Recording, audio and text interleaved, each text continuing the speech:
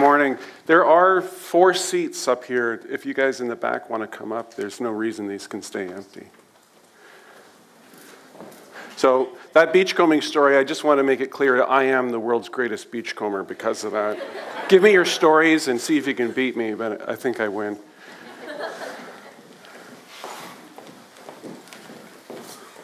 Okay, so I'm a set decorator in the film business and the TV business. I'll just briefly explain what that is, uh, and I'll briefly explain how I came to do that, and then uh, I'm going to use pictures from The Revenant to show what I do uh, specifically.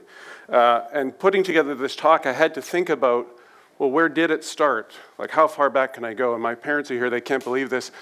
This, uh, something like this I received when I was seven years old. It's a, it's a marionette stage that you put on your table. And I remember playing with marionettes and being fascinated with the whole concept of on stage and off stage. And I don't know if that's significant, but I know it was a seed and it made me think about performance. And I loved performance and magic tricks. I had a I had a, a my dresser was pants, sweaters, shirts, socks, magic.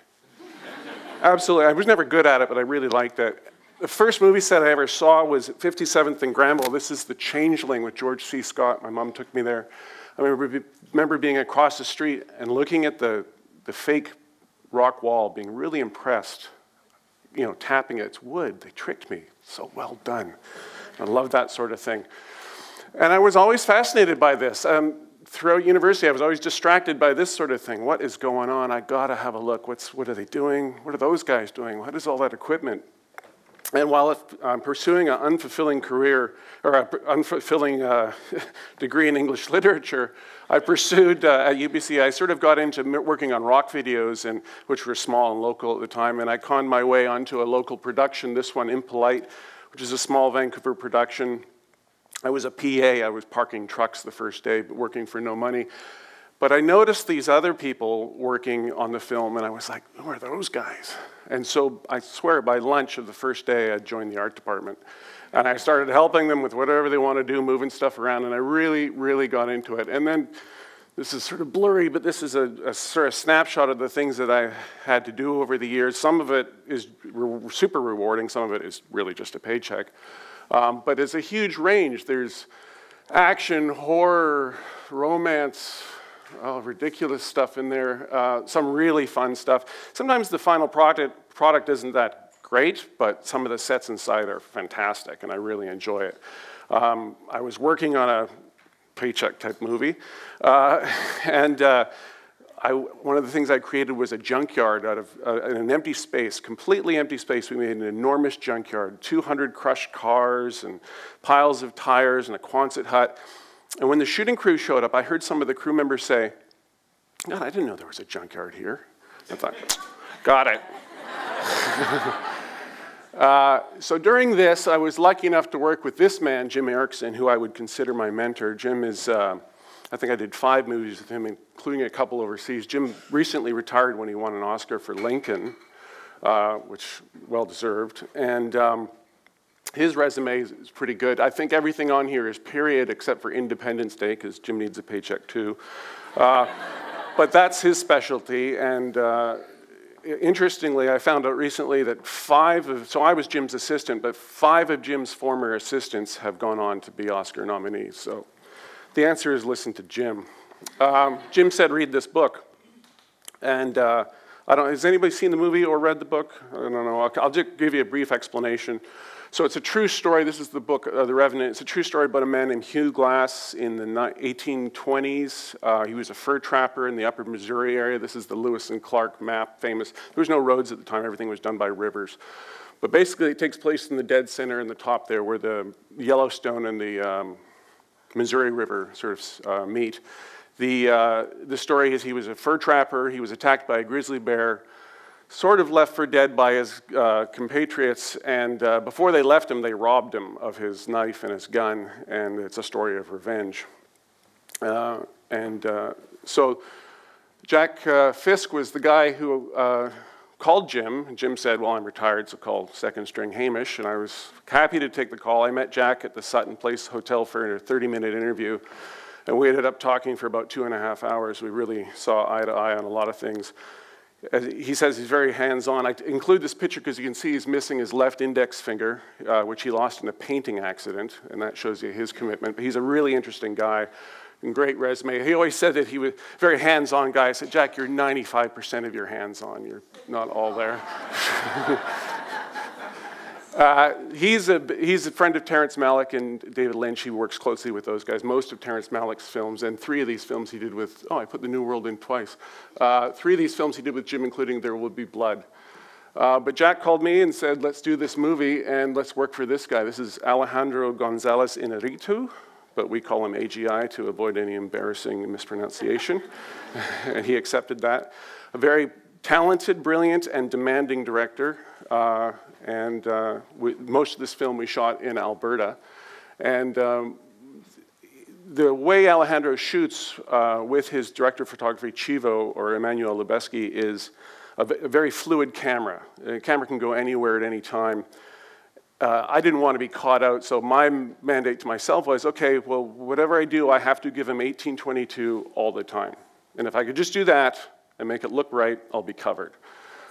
1822 is the era is the, is the year that we were in. And so for me, that's really important that everything I put in is accurate to that time. That's really specific to what I talk about. But um, he's, he's got other issues. I got to make sure that everything in the, in the movie is, is period correct. Uh, it was notoriously a grueling shoot. This is the camera department trying to get into a certain spot to, to shoot uh, a scene. It was, it was tough for the crew. It was definitely tough for the actors. This is, uh, everything's heavy, everything's cold, everything's wet. And uh, yeah. Uh, one, of the, one of the important things that I had to maintain, I work closely with the props department. So the, I should explain the, the set, de- okay, so the production designer hires the set decorator, which is me. And the production designer, is in, Jack, is in, in, look, in, charge of the entire look of the movie. So he hires the construction department, the paint department, the art department to do the drawings. And I'm in charge of populating the set with all the items that make it look right. The props department specifically deal with stuff that the actors handle. And in this case, the, this movie, uh, there was a big gray area, very fuzzy area with that because a lot of my stuff became props. And it was important that everything looked right and consistent for the movie. So it starts with research. This is all pre-photography, this movie. So we had to go to the paintings of Miller, Bodmer, and Catlin. We're three artists at the time that covered this part of the world, and we studied these intimately, every, every detail we could get out of these. Also, the journals and, and diaries of trappers, uh, a lot of those are saved, and we consulted with museums in Minnesota, Missouri, uh, North Dakota to get it right. The script called for a boat. They had to, this was the, the era, the reason these people were out there was for the fur. It was all about, this is pre-gold rush, the fur was the gold. That's the reason they were out there. That was the only reason they were out there. And so they moved the fur back to St. Louis on these boats called flatboats. So the script called for a flatboat.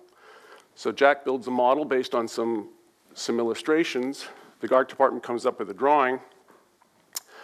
Construction builds it, paint paints it, and then I cover it with my stuff. Uh, this is, looks even better when you have actors on it. Now, this boat actually had a 400 horsepower jet engine hidden inside, so that we were able to go back up to the upstream and start again.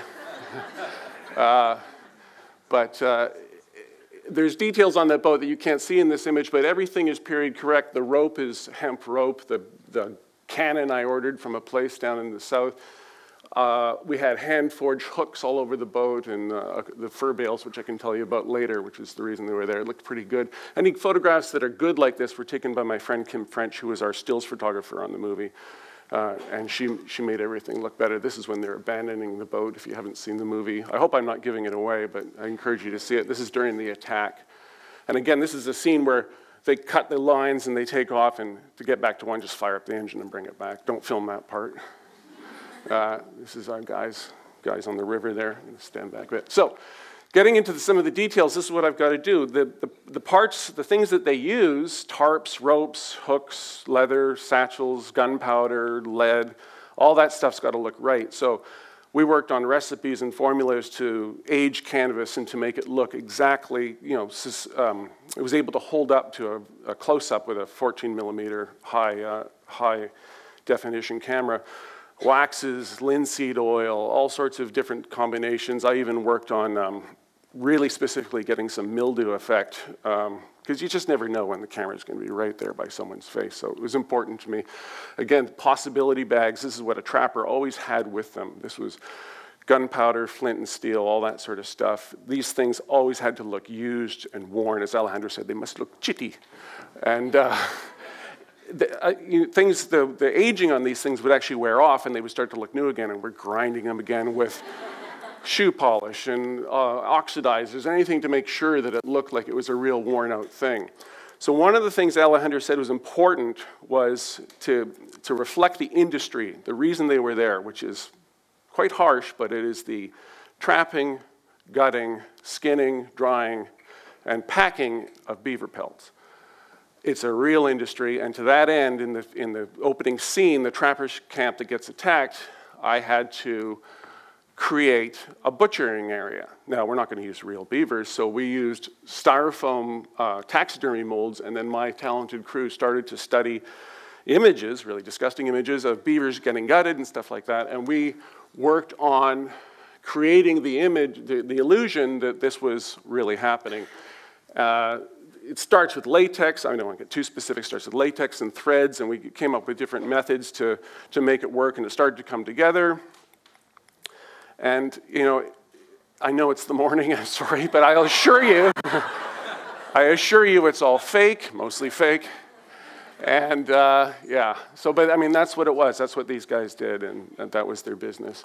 And so, and this is Tom walking through the set. So, so the, the idea of this was to, to convey that um, the, the, the, value, I mean, a stack of furs this high was worth a man's uh, year's wages. So it was something they protected, and they wanted to make sure that they were able to. Uh, get it back to St. Louis and get paid. A lot of these guys didn't make money because they lost it or got attacked this poor woman here, she had to scrape that beaver pelt for about four days because the scene took so long.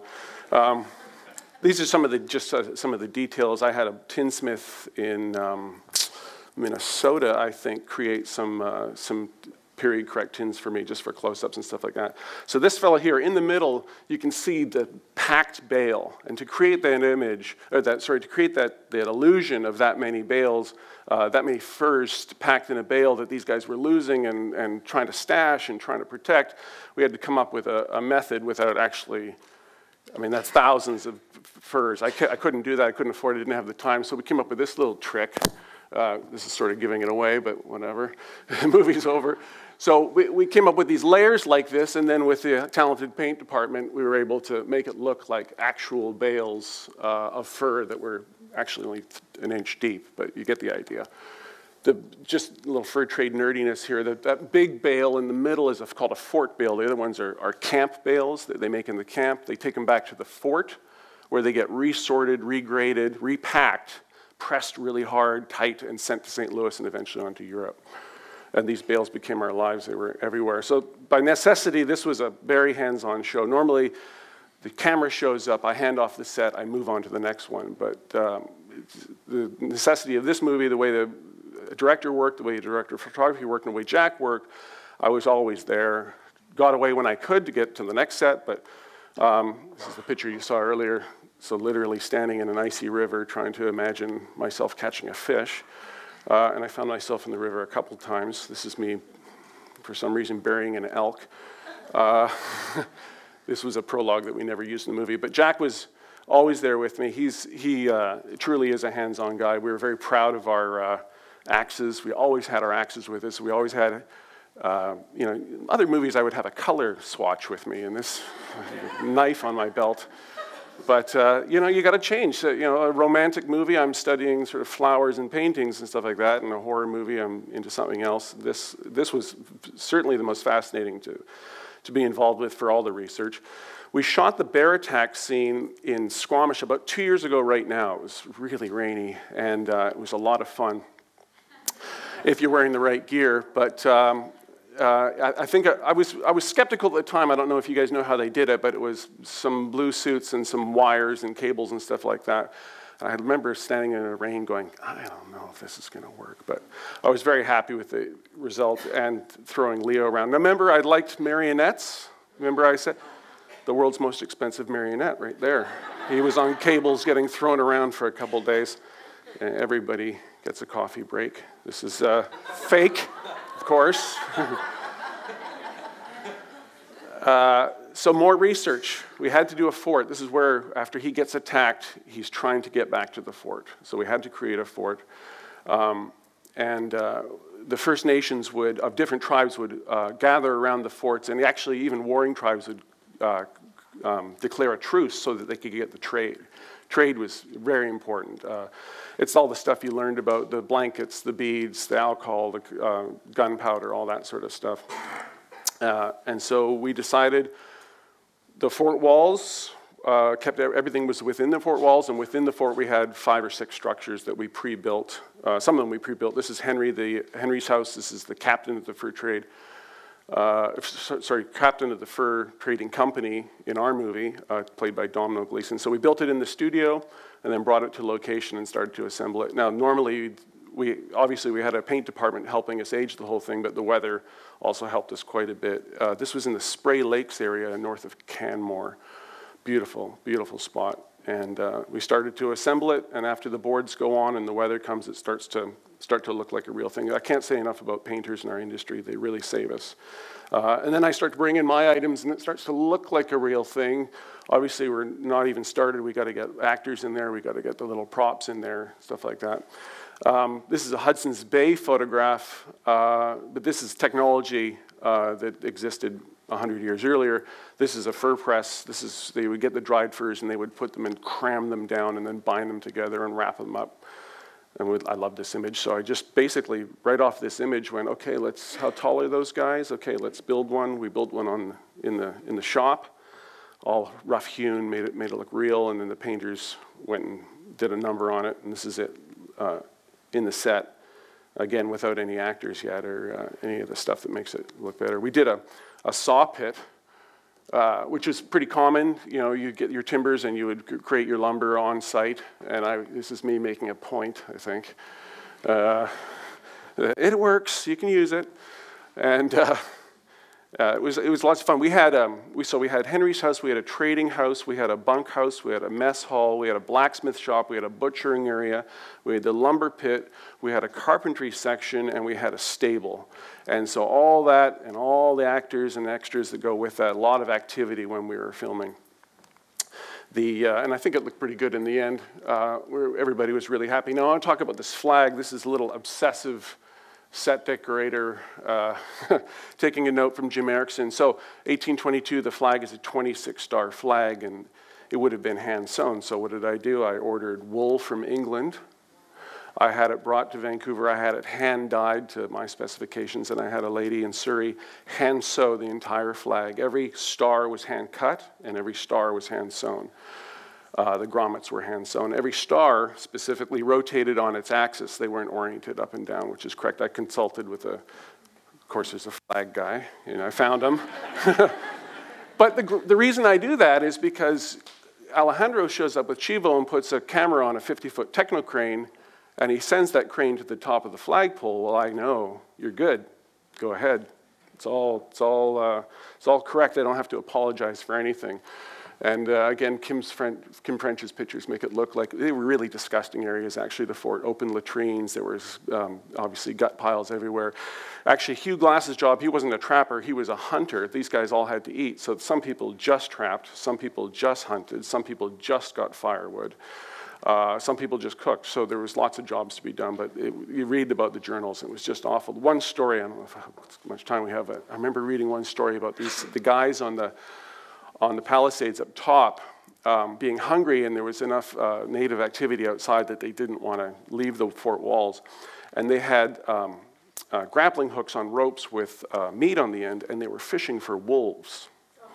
So the wolves would come up to the edge of the fort and they would hook one. And can you imagine how angry a wolf would be on the end of a rope? And then after they got it halfway up, they would shoot it, haul it over, and eat it. So, yeah, pretty rough times. But uh, I had 30 teepees set up outside the, uh, outside the camp, and everyone was decorated with full detail because, again, the roaming camera, I never knew. And sure enough, one day Alejandro went over with the camera and started uh, getting people to do some uh, out, out, of the walls uh, activity outside the walls trading. I like this picture because it shows our camera operator, Scott Sakamoto, with a very modern piece of equipment, the Steadicam, and right behind him is 200 years ago. Uh, and this is uh, some shots of uh, Leo coming into the fort. This is, this is a shot of my bales. No, it's a shot of him. like, like this image, people say, that's a picture of Leonardo DiCaprio. I think it's a picture of a hook. uh, a period correct hook. Uh, so Henry's house was one of the one of the real sets I got to do was the interior, and I, and whenever the weather got bad, I would spend time in here. Uh, uh, thinking about what I was about to do and, and trying to make it a, a real space because we had some scenes in there, some tense scenes. So after the painters were done, I started to bring my stuff in. And uh, I would retreat in there. And the only real way, I call it method dressing, but the only real way is to just sit in there, sit in his bed, read a book. You know, where's the water? Where do I, you know, how, fire should, firewood should be close to the fire, all that sort of stuff. And you actually have to sort of live in there a bit for me to, to make it work. And, uh, and also work with the colors. Make sure, you know, a little bit of color, not too much. Don't want anything too shocking. I'd, look, I'd photograph it every day, go back to my hotel, and then look at it and go, oh, that, that looks awful try again the next day, move something else on. But I started to put some details in. Again, like the flag, you know, you never know when they're going to do some macro shots. I had a calligrapher in Calgary. I found someone that was able to transpose some original letters onto some paper that I was able to age with tea and potassium permanganate and make it look like it had been worn. Letters correspondence from Henry to his bosses. And, uh, you know, you never know if that's going to make it into the movie but it's still my job, and, and if I waited to see if it made it into the movie, I wouldn't get out of bed because it, it often ends up on the cutting room floor. But my job is to make sure when the director and the actor shows up, it's all good for them. You, could, you don't have to worry about, you're in that space, you can take it from here. You don't have to uh, avoid certain areas. And so the details are really, this is, I remember sitting here one day just getting right down into the details. And through the magic of eBay, I was actually able to get some real letters uh, from 1822 and stuff them in there so Alejandro could see them. I actually had a, uh, had a journal or a, a, ledger book made. Everything was done by the debits and credits in those days. There was no money out on the, out on the frontier. So uh, ledger book that was uh, really important. So again, so when this guy sits down, I don't have to apologize, and you do not want to get in trouble with him because um, you'll hear about it. And, uh, and again, when he sits down with uh, an actor, they can get going. And the actor looks around and goes, oh, this is great. And, the, and he doesn't have to back out of the character, he can go forward. So another set we did was a, a different tribe, a Mandan tribe, which were agrarian um, First Nations group, and they, uh, not a successful one, they actually didn't end up doing too well. They were more farmers than warriors, which didn't work in those days.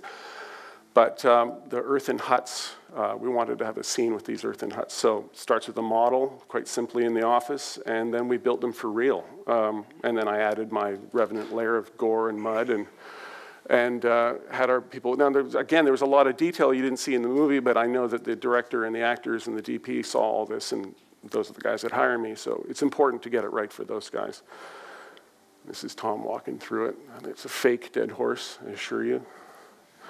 Um, one of the sets was this trade room, very important room. Didn't really see a lot of it in the movie. This is where Leo's explaining he's actually going to go after this guy, but so we shot it close to the window. But um, uh, that was a lot of fun because uh, you really got to understand what it was people wanted. They wanted, some people just wanted gunpowder, some people just wanted alcohol, some people wanted the beads. Uh, fascinating, fascinating to get into that. And this was a trade box uh, that was carried on the trail. If you wanted to do any trading on the trail, you'd pop this open and say, would, would you like any of this stuff? Uh, tobacco, pipes, beads, all that sort of stuff. We good? Okay, I'll go quickly. Uh, dream sequence is a photograph of a, uh, of a um, pile of buffalo skulls. I think it was in Saskatoon for, for um, fertilizer at this point, the fur was used for something else. Alejandro wanted this in the dream sequence. There's no way I'm going to get that many buffalo skulls, but I can get you 10. We'll make a mold. We'll repeat the mold, build it on a two-sided pyramid, build it in the stage, and then move it to the location. It works. The bottom four feet are actually cow, real cow skulls. I got some, some farmers, and then the painters tied that together, and it looked really good at night. Uh, we had a, another dream sequence at church. Sometimes it starts as simple as a drawing like this, and then um, they uh, made it out of foam. There wasn't a lot of set dressing, I think the bell maybe, um, but it looked pretty good. We just sat it right down amongst the trees. This is a day uh, I got in a bit of trouble because the blood on the snow was not holding up. Um, I was working with the special effects guys. Normally I don't do blood, but I became part of the blood crew. Uh, so I started to experiment with jello and, and you know, fake blood when you put it in snow turns pink, so you have to be careful uh, what you do. I was actually at an ice cream store one night and I was fixating a little too much on the, perhaps this could work. Uh, but often we're hiding in the bushes behind, uh, watching it all happen. It was a great experience. It was really tough. Uh, my wife is here was very kind to let me go to Calgary for eight months to do this. Um, and it was, uh, it was very tough, but I knew it was uh, sort of a life changing experience. This is the last day of shooting. Sometimes you got to burn what you love. We built this uh, for a dream, another dream sequence or a flashback. And again, when Kim takes the pictures, it's, uh, it's a lot better. Anyways, it was a great experience.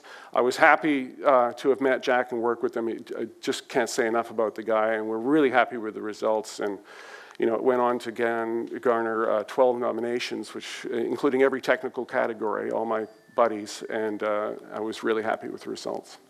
That's it.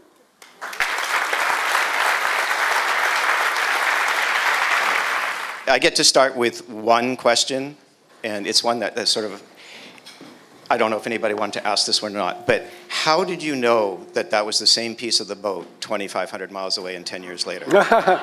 That's a good question. My favorite beachcombing question.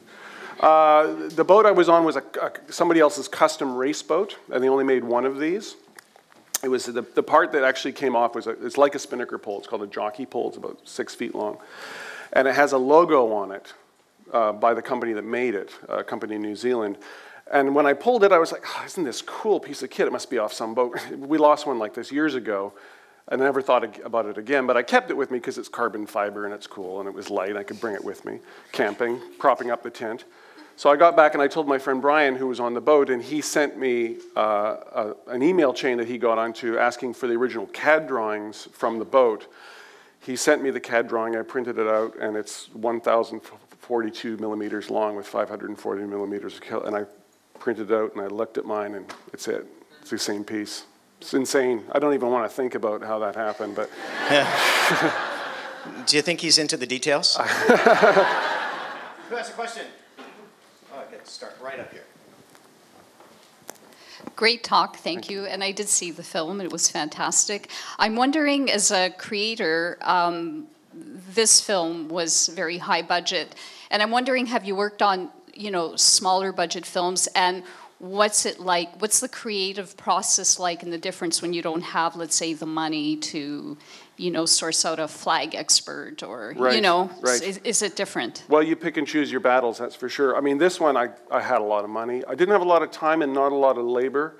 Uh, and Alberta, while the guys that I worked with in Alberta were good, they weren't very um, deep in experience. So I actually had to bring some Vancouver guys with me for some of the details. So those guys that you saw building the fake beavers.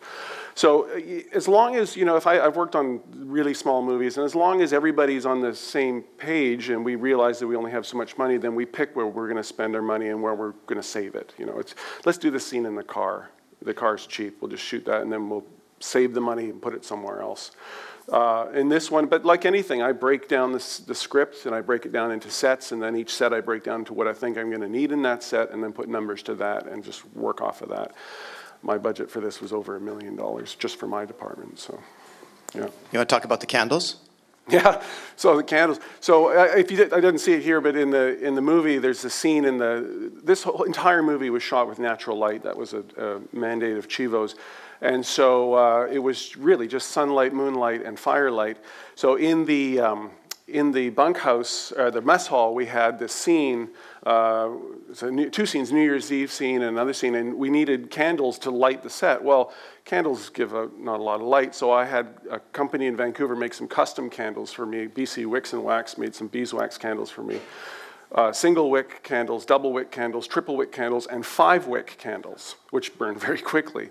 And I had uh, about $5,000 worth of candles that we rotated through. And of course, if you know anything about continuity, I'd have to have all candles at different heights so that we could swap them out so that they don't change heights within the scene.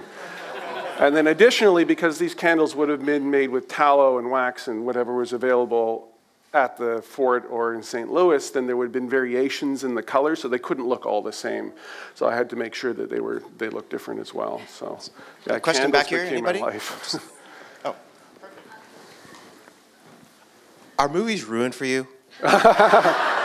Some, sometimes, yeah. Like when you watch. Yeah. No, I enjoy. I really enjoy. I still go to movies. I still uh, enjoy it, but I do get distracted. Uh, I saw Deepwater Horizon the other day, which I was very impressed with, and I was thinking, how did you guys do that? so that, where would I have got that? Mm. I did do an oil rig for Superman, which never made it into the movie, and I know how hard that was. So, yeah, it can, it, they can be ruined for me, but most of the time I can just enjoy it like everybody else. I'm thinking more specifically, do you ever see, like, do you ever see the ropes or see that, like, yeah. Oh, yeah. The first time I saw The Revenant, I, I, I was not in the right mindset. There was mistakes in there that you guys don't know about, but it just drove me insane. Like, really, uh, I, I got to settle down on that stuff, but it, it, you can get obsessive and not know when to let it go. So, yeah. Tell us what mistakes. Oh. okay. A footprint here and there. Uh, okay. Another question back here. Go ahead. Uh, Hi, just following up on that, with virtual reality coming and there's, I guess, already a few movies with that. Yeah. How are you going to deal with that when the, the viewer can just go around at all angles and stuff like that? Yeah, yeah, I, I, I don't know. I mean, the Revenant, you know, the there was no. I mean, there was a couple spots where you couldn't take the camera, where the trucks were hiding and stuff like that. But other than that, it was good to go 360, uh, and which was a, tall order. But everybody was doing it, so we we decided we were going to go ahead with that. But yeah, I don't I don't know what's going to happen. You know, when CG.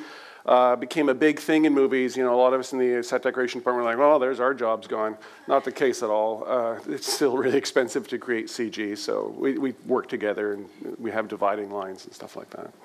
Got time for one more question. Oh, one, one times four. Oh, who, who has a quick Maybe question? it's the same question. Same question, different question, and we'll, oh, we'll get to more. Hi, I'm wondering how do you decide how many of something to use, especially the larger scale items? Like you mentioned that you have 30 teepees in a scene. Mm-hmm. So, in terms of like the camera depth, like how do you know? How do Right. you judge that? So that works with a plan and a concept illustration. And we just, you know, when we do survey, we do technical surveys and we stand up there with a lens and we look and we, we decide, oh, that area, we can park the trucks back there. We'll never go back there. There's nothing we want to see back there. Then they change their mind. But, but we do, and I really drill down on some of the details on that stuff because a teepee actually has about a ton of wood in it, if you, if you, if you can believe it. I certainly figured that out. And so they don't move that easily. Uh, so, and they also get frozen into the ground. So we had to lock down on a lot of stuff where that was going to be. But you know, you get down and you look and you go, oh well, why put those two right in line? Why don't you just, you know, you get a little more that way. So, always walking around looking at angles, stuff like that. Yeah. Okay, so who, who has the killer question? Because this will be the last one. Who's got the best question?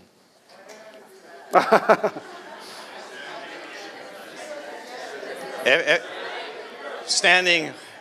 Oh, I'll try this one. Okay. Just wondering, how big is the team that you work with, and is your ability to delegate critical to your success? Yes, Because obviously you can't do it all yourself. Yeah, yeah, that's a good question. I, I am just a representative. I, I'm in charge, but I couldn't do it without my guys. And sometimes I take work uh, that I don't want to do because they need to work and I owe it to them, sort of thing. So, um, uh, depending on the movie, uh, it works. I, I am the decorator. I have an assistant decorator. I have a couple of buyers sourcing stuff and helping get stuff made. I have a lead dresser. I have up to a dozen or two dozen set dressers actually installing all this stuff. Drivers, uh, electrician, no electrician on the Revenant. That was good. But uh, the team can get quite large. Uh, I did a, a forgettable movie a couple years ago coming out called Monster Trucks, and at one point I had 25 ton trucks around the lower mainland moving around. uh, covering all the sets. And oh, most importantly, my coordinator, she, um, Linda, she's the hub of our department, and she pay, make sure everything gets paid and delivered, and, and she is the absolute core. And she came with me to Calgary. And uh, I'd come in covered in mud and blood, and she'd go, okay, well, here's what's happening, and I'd head off again. And so, yeah, it's a bit, my crew is very important. Some movies are so small that I can only have two set dressers and one buyer and me an assistant sort of thing, so. So how many people would like to ask him, how can you work on his team?